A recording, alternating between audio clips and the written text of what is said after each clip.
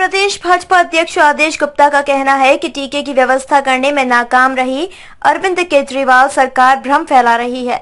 उन्होंने बगैर टीके की व्यवस्था किए इतने सारे टीकाकरण केंद्र खोले जाने पर भी सवाल खड़े किए हैं। टीकाकरण केंद्र सिर्फ़ राजनीति करने के लिए खोले गए थे।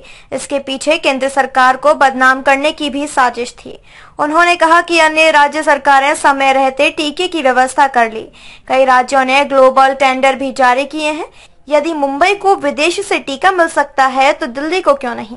कहीं ना कहीं यह दिल्ली सरकार की बड़ी नाकामी है। केजरीवाल द्वारा राजनीति, उसके पर्दाफाश को लेकर कुछ अहम सवाल हम दिल्ली के मुख्यमंत्री से कर रहे हैं। झूठ, फरेब, मक्कारी, धोखेबाजी, ये जितने शब्द हैं वो ऐसा लगता है कि केजरीवाल जी के लिए बिल्कुल फिट बैठते हैं।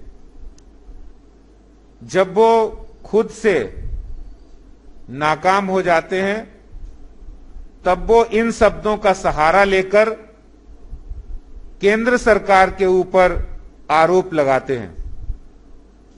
यहाँ मैं बात करना चाहता हूँ कि कोरोना महामारी में जिस तरह से दिल्ली सरकार की स्वास्थ्य व्यवस्थाएँ चरमराई, जिस तरह से दिल्ली के अंदर न बेड, न ऑक्सीजन, न वेंटिलेटर और उन चरमराती व्यवस्थाओं में हर जगह केजरीवाल की नाकामी दिख रही थी।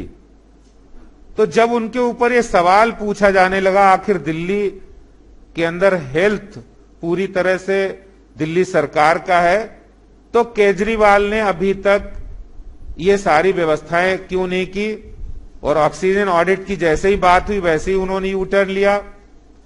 फिर उन्होंने अपनी राजनीति के अंदर वैक्सीनेशन पर राजनीति करने लगे।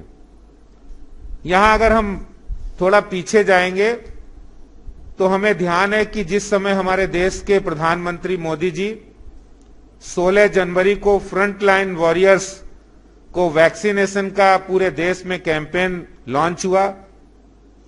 तो यही लोग बहुत सारी बुराइयाँ उसमें निकाल रहे थे।